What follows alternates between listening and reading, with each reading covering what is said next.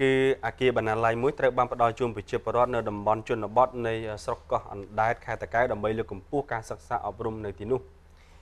ប្រជាពលរដ្ឋលោកគ្រូអ្នកគ្រូសិស្សានុសិស្សជាច្រើននៅរយនេះបានចូលរួមនៅក្នុងពិធីអបអរសាទរសមិទ្ធផលថ្មីមួយគឺអាគារបណ្ណាល័យ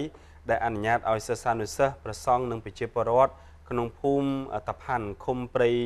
យុទ្ធការស្រុកកណ្ដាលខេត្តតាកែវអាដាមឈិតសុខុនរលេខាធិការទីស្តីការគណៈរដ្ឋមន្ត្រីមានប្រសាសន៍ថា អាគារបណ្ណាល័យនេះគឺជាកំណប់ទ្របមួយ ដែលទុកឲ្យក្មួយក្មួយទាំងអស់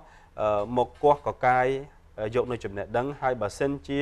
មិនគោះកកាយនោះទេក្មួយក្មួយមិនអាចទទួលបានកំណប់ទ្របនោះមកប្រើប្រាស់នៅថ្ងៃអនាគតបានឡើយអេដាមបន្តថាការរៀនសូត្រមិនថានៅទីកន្លែងណាទេគឺអាចរៀនបានទាំងអស់បើរៀននៅសាលាមិនគ្រប់ត្រូវរៀននៅផ្ទះបន្ថែមហើយត្រូវស្វែងរកការសិក្សាស្រាវជ្រាវអាចបន្ថែមនៅបណ្ណាល័យនឹងធ្វើឲ្យក្មួយក្មួយកាន់តែឆ្លាតកាន់តែមានចំណេះដឹងថ្មីថ្មីបន្ថែមទៀត ដោយឡែកលោកអ៊ុំសំអឿនអនុប្រធានប្រតិបត្តិការមីក្រូហិរញ្ញវត្ថុប្រស័កប្រស័កមានប្រសាសន៍ថាបណ្ណាល័យនេះត្រូវបានផ្ដល់ឲ្យគ្រឹះស្ថានមីក្រូហិរញ្ញវត្ថុប្រស័កដែលនេះមិនមែនជាលើកទី1ទេដែលប្រសាក់បានផ្ដល់អាគារបណ្ណាល័យជូនសិស្សានុសិស្សនៅតាមសាលានានាទូទាំងប្រទេសនិងបានដាក់ឲ្យដំណើរការជាផ្លូវការចំនួន22រួចហើយដោយនេះបណ្ណាល័យនេះគឺជាអាគារបណ្ណាល័យទី23និងបន្តបើកដំណើរការឲ្យប្រើប្រាស់ជាបន្តបន្ទាប់ទៀតនៅពេលខាងមុខបាទ